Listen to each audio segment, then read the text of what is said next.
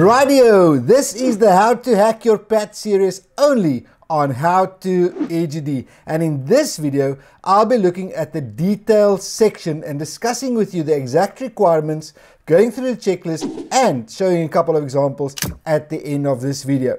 Now, for us to get started, you need your PAT document, and I'm sure you've read all of this already, but let's go to page 13 and we look at 5.1.3 the details section and what exactly is specified. So in this PAT, the details section must be drawn to scale 1 to 20. You do not have a choice in it. That is your scale to be used. You need to show all the details from the foundation to the roof.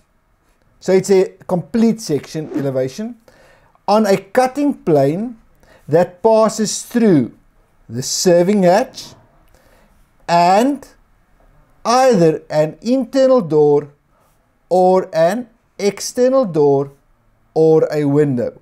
So read this carefully. A cutting plane that passes through the serving hatch. That's a must. And either an internal door, external door, or a window. Okay, so there's actually two here.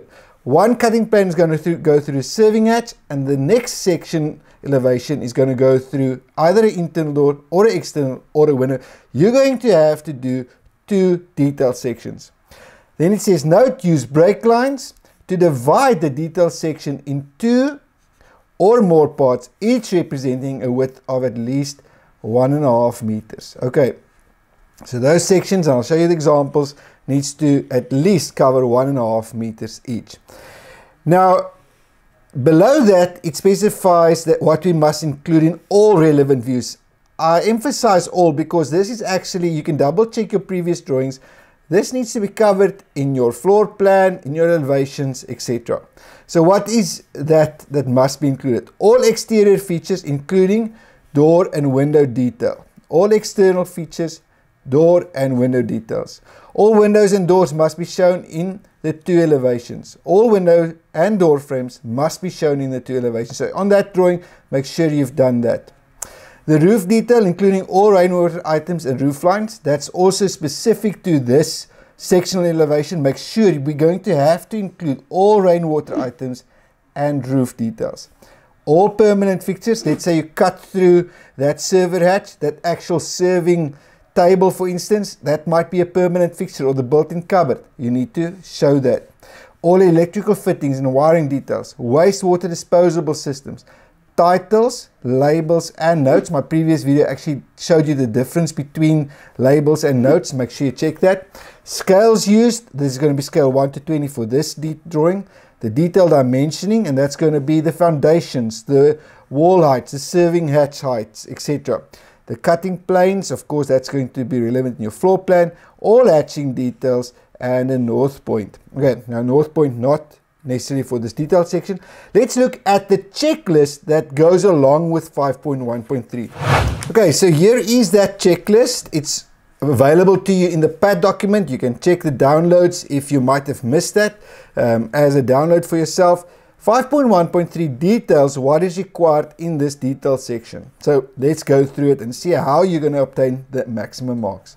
Sections correct according to the indicated cutting plane.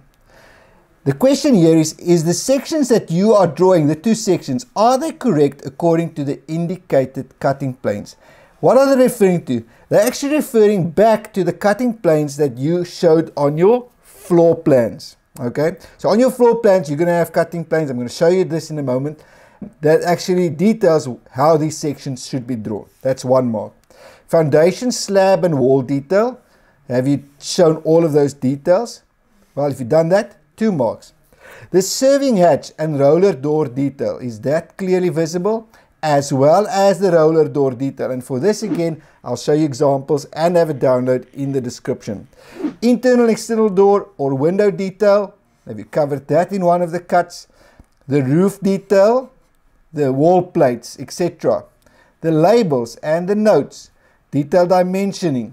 All hatching details showing the compact fill, showing the concrete, etc. The scale that you used, was it 1 to 20? Was it indicated correctly? Did you do that breaking lines?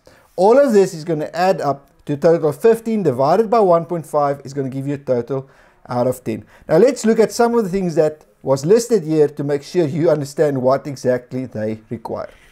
Okay, so first things first, I've just taken a previous section elevation from one of my students to just show you how they've done two sections on one page. Now, of course, this is the previous year's work, but you can see here that it details from the foundation all the way through to the roofing detail includes even the gutters, rainwater pipes. You have your break lines here indicated. You've got your measurements, your labels, your notes, uh, all of that indicated on this. Okay, that's uh, uh, similar to what you'll have to do with regard to the two sectional elevations. This document is available for you as a download um, and it's just to get you going on your cutting plan. I didn't include the full roof details here, but what is it? This is the part where you cut through the serving edge. So I've done my research. I've included for you the countertop, how would you draw that? That's your serving hatch. There's the lintel to support that serving hatch.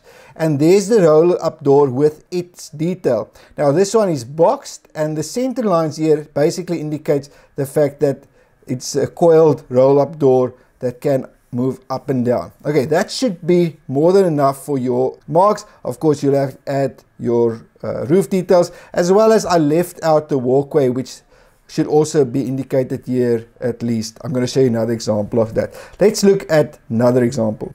Uh, again, to make sure that you get this right, I've just taken this from one of the floor plans in previous uh, grade 12 exams where they've actually indicated the cutting plane. And this is the reference back to that floor plan where it says you did you get your section correct according to the cutting plane. So remember, make sure on the floor plan page, you need to indicate the cutting plane. And in this instance, it was labeled CC. You're going to have two cutting planes. So you might label, label the one CC and the other one you'll do BB for instance. And remember these cutting planes, the first one will have to be through the serving hatch. Okay, and there will be some walkway. That's why I just use this example which will help you clarify. Okay, let's look at the actual answer to this specific cutting plane that will help you to show you how yours should look. Okay, so here is that specific section, CC.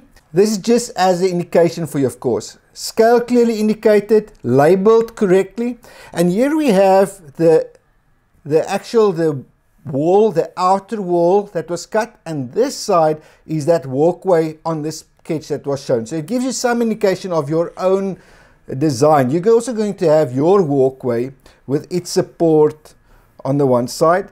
So you have your main wall of your, let's say your kitchen area.